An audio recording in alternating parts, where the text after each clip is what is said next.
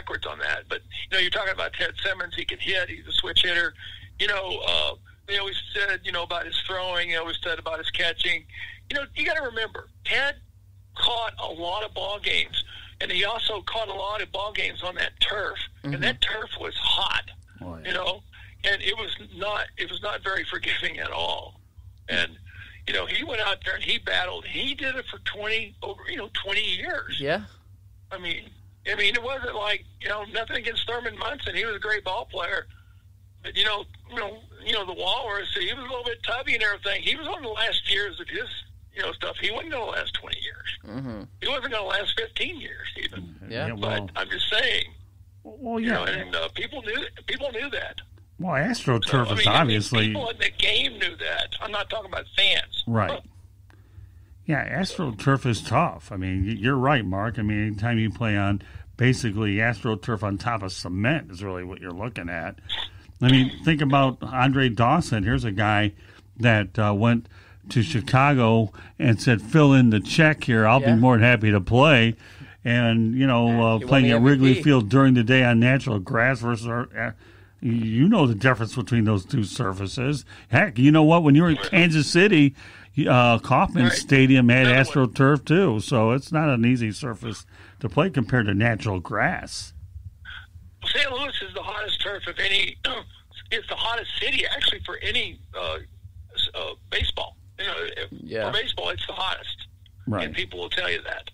And uh, you got you got those two rivers right there. You got humidity coming out the butt and you you just go outside and you just start sweating. I mean, I grew up in Missouri, southern Missouri, so I knew what humidity was all about. That's probably why I did okay. You know, when my arm was healthy and everything, the heat didn't bother me too much. Mm-hmm. But uh, it's amazing. You know, Teddy's behind the plate and he's catching a lot of good pitchers, and uh, he's trying to control that game. And that's the biggest job that Teddy had to do right there. If you ask a catcher how, how you know you got a good catcher is is when he doesn't talk so much about his hitting. He talks about you know the pitching staff. He he said my my goal is to you know basically bring the staff through the season. You know, and that that's when you know you got a good one, and that's what Teddy did. Right. So. So let's touch a little bit on the um, recent players who were inducted as well. We touched on Marvin Miller, and I, and your insight on Ted Simmons is equally funny and heart heartfelt. So let's talk a little bit about Derek Jeter and you know your thoughts of him as a player, and then we'll touch on Larry Walker as well. Well, you look at Derek Jeter, and he was the five six hole guy. That's how I, how a lot of ball players you know look at Derek Jeter. You know, you, you say, who's the five six hole guy? Well, the five six hole guy is the guy from in, third and short. He, he, you know, Jeter Jeter had, was blessed with a really good arm, so he cheated to the five six. He cheated to the third base side and when he got those balls over there, he can make that play with mm-hmm. that dynamite arm of his. And he had range because he was a pretty big guy, you know. So his his footwork was, you know, well above norm. Uh, and then, you know, he could put the bat on the ball. He knew what to do with the baseball, you know, according to the scoreboard. And the scoreboard, once again, will tell you how to pitch and play a baseball game as well. Absolutely. So, you know, if you got a four run lead, you got a one run lead, you're down two runs, it's all different what you got to do at the plate. And also as a pitcher, what you got to do. And also the, the defense, what they have to do, you know. And, you know, if they, if they shift and move with two strikes and, and all kinds of things. And the scoreboard comes, it comes back to simplicity. Uh, the scoreboard tells you how to pitch and play a ball game. It's, it's that simple. And you had ex- really you had extensive years of coaching, you know, following your playing days, and I know you coached in the '90s in the minor leagues. Jeter came up from '92 to '95 with the Yankees. Did you have a chance to see him when he was a raw? I mean, there was one in 1992. Not many people know this. He made 56 errors at shortstop in one season. I mean, that's like dead ball era defense. Did you ever have a chance to see him play coming up in the minor leagues when you were coaching with Kansas City? Well, matter of fact, I did. Um, but I did, it wasn't in the states. I was over in uh, Australia, and he was playing and getting some work over in Canberra, and uh, that was uh, they had some Yankee players in Canberra at the time, and I was watching this guy work out, and uh, they were doing a drill with this guy, and I said, "That's pretty interesting drill. I kind of like that drill," and uh, it was Jeter, you know, they were working with at the time.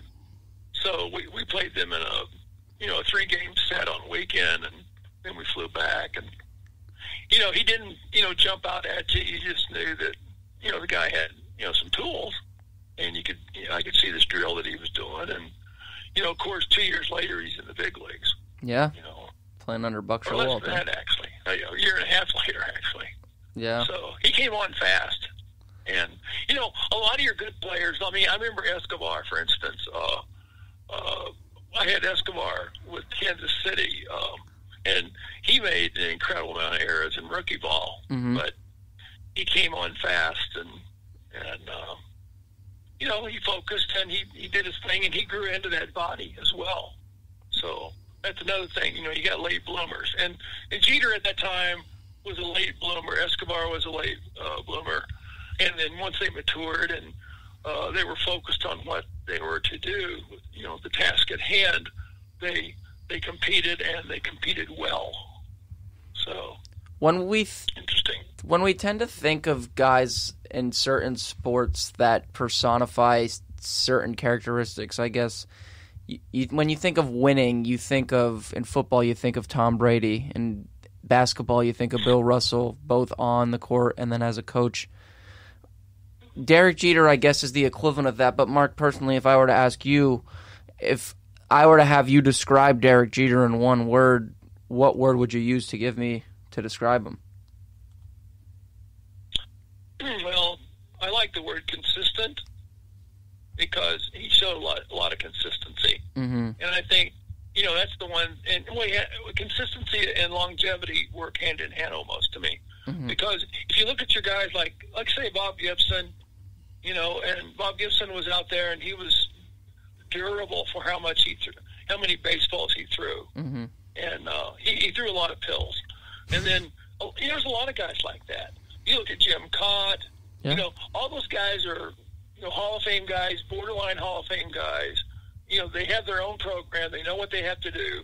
They're blessed with a God-given body that can perform and is consistent on a daily basis. They go out there and they can do that day in and day out.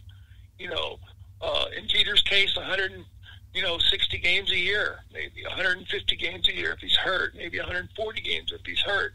But he's not going to be off the field very much. He's going to be pretty darn consistent uh, between the lines with what he does. So. And do, would you like to embellish a little bit on Larry Walker? This was his last year of eligibility, and he actually just made it by six votes. Me and Scott discussed this ad nauseum prior to the show that we thought Larry Walker should have been in the Hall of Fame a long time ago. You obviously never played against him, being that he debuted at the the tail end of the 1989 season. But from watching him all those years, you know, what was your impression of a guy who, in my opinion, is one of the more complete players in baseball history? Well, uh, the unique thing about him, he's got about, I think, I think he had 2,160 hits mm-hmm. through his career. Yeah. Uh, and then, you know, the fact that, you know, he could go in there like day in and day out for 17 years and, and get it done. Yeah. But he was also a Canadian. And he's only one or two Canadians. You had Ferguson Jenkins mm-hmm. and, and him now. That's a good point. Uh, you know, that, you know, they hold that, uh, that ti- I, I want to say title because it is a title if you've got only two Canadians working out there and and you know they uh, they're they're sitting out there. That's pretty that's pretty neat. You can go into Canada and say, well, I'm a Hall of Famer. You know, there's you know they're, they're mostly out of this country. Uh, you know, right now, but that, that's pretty cool. But he had to endure, and I'm sure he had. It's hard for uh, a foreign player to come in to this country and play our game Mm-hmm. And you know, all, all of a sudden, he's at the top of the game, and and uh, he's setting standards uh, of his own. You know, which is and he and, he's, and he too, like any other Hall of Famer, is showing that consistency and discipline as well. So, you know, you could throw all those buzzwords out, but I really do like the word consistency with I, these guys. They're day in day out. And I think you're they right. Show up. They show up. Hmm? I, yeah, let, let me talk for a moment about Derek Jeter. And it, I, today he was one vote shy of unanimous. And he, do you think that being one short vote shy of unanimous bothers him, realizing that we, on the surface, I wouldn't be surprised if somebody from the Boston area is the guy that kept him from getting the unanimous vote, or does it really matter? I don't think it really bothers him that much. Uh, you know, I think he does this. Like, I noticed that one thing he said that he was. It's not. It's like Yogi said. It's not. The game's not over till it's over. Right. And I think he was always like leery of the vote himself. Well, and no. uh, I think he knew he was probably had a chance of getting, you know, the, the the total shebang right there, but he didn't. And you know, he's a day in and day out player, and you got to remember he came out of Yankee Stadium and he got booed too as well. Right. You know, no matter you no matter you know who you were in right. that stadium. You know, if he failed to get a guy over, get a guy in, his last at bat, you know, you were going to hear "you suck" for sure in that whole dialogue.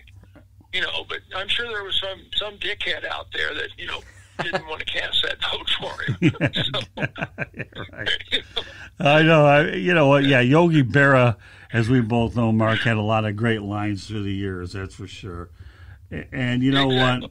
It'll be interesting the next time we come on where that vote actually has because now the manhunt is on for the lone Mohegan that turned out to be the big moron, you know, and decided to uh, say that 99.9% versus 100% makes him look like a you know what and a you know what. Okay. Well, he's like an assassin. Don't even bring his name up in the paper for even doing that. yeah, right. yeah. Less attention, you know. Yeah, good and, luck uh, trying to do that with social media, putting pressure on Mark. You know, social media, Twitter is all going to drag it out of them. They'll get it one way or the other. You know a ball player, a ball player, you know, really, we don't care sometimes. You know, that's the way you got to play the game anyway. Like, right. kind of like, don't care. You really do care, but you don't because that's the way you you got to play your game. I, I don't really don't care. Hey, this is what I got today, and this is how I'm going to beat you. Yeah. you know, today. And yet, ironically, in back-to-back years, Mariano Rivera gets 100%, but Jeter doesn't. You know, you know, everybody right. knocks Derek Jeter's defensive abilities, but you know what? When you make arguably one of the best defensive plays in postseason history, diving into the stands on a big stage, nobody knows better what it's like to compete on a big stage than you because obviously you did. So you save your best defensive moments when it matters when a lot more people looking at you instead of that thing in the stat column called errors with a few extra. Right. That's true. Yeah, I mean, you know, yeah. the, the big stage either well, we both know that it'll either make you or break you. I mean, I can tell you a story a long time ago when I when Grady Little was the manager of the Dodgers, and I went up to Vero Beach and I asked him if he had to do it over again about leaving Pedro in or not. No, I don't really. It's just that happens on the big stage. Things go ahead and get magnified a lot more. Grady Little, I'm sure you got to know Grady Little, right? He mm-hmm. he was one of the most yeah. candid guys out, out there. I, I like Grady myself. What do you think? Yeah, yeah, he's he's to the point. You know, get the job done, get it, and you know, same thing with the players, and leave them alone, let them play, and uh, right. if you can't play, he'll find somebody else that can. All right, so we we wanted to touch a little bit too on some of the guys that just missed. Obviously, we're going to get to Bonds and Clemens, but we'll, we'll stick with your position first at pitcher, and we'll talk a little bit about Curt Schilling. Obviously, Fox News has a spot open for him whenever he wants to go on there, but I think you know his spot in Cooperstown shouldn't have anything to do with his political views. He got seventy percent of the vote, as you know, Mark. You need seventy five percent to merit induction. Right. Give us your thoughts real quick on Schilling and you know your reaction to the fact that hit now in his eighth year of the ballot, he didn't get enough votes yet again. Yeah, well, he obviously had a great year. Uh, he had great years, mm-hmm. uh, and and he did a lot of damage, you know, in in uh, postseason. Mm-hmm. Obviously, big time damage, and uh, he, he he could pitch. You look at Maddux, for instance. Maddux, Hall of Famer, and you know you sit there and you look at somebody like Maddux, and he had just incredible stuff uh, seasons, but he had tough time on the postseason. Good, yeah, uh, a lot of times. Mm-hmm. And uh, you put Schilling out there between the lines, and it was a, it was reverse. And uh, but you know, I'm not real sure how many how, how much longevity he he had out there. Uh, do you know? Uh, Yeah, Louis or he. I mean, listen, if you really